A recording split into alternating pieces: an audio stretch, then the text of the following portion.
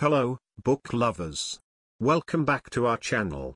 Today, we're diving into the riveting mystery novel, Happiness Falls by Angie Kim. This novel is a gripping tale about a biracial Korean-American family in Virginia whose lives are turned upside down when their beloved father and husband go missing. The story is told from the perspective of Mia, the irreverent, hyperanalytical 20-year-old daughter. The only witness to the father's disappearance is Eugene, who has the rare genetic condition Angelman syndrome and cannot speak. This adds an extra layer of intrigue to the mystery.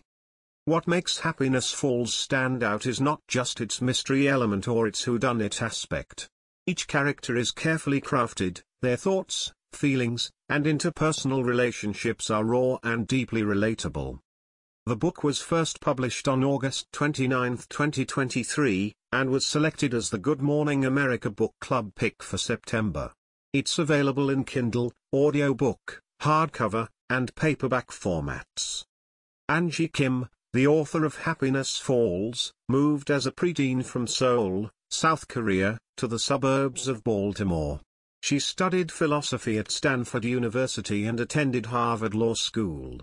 Her debut novel, Miracle Creek, won several awards and was named one of the year's best books by multiple publications.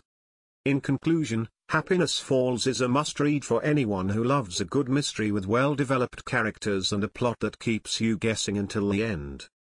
That's all for today's review.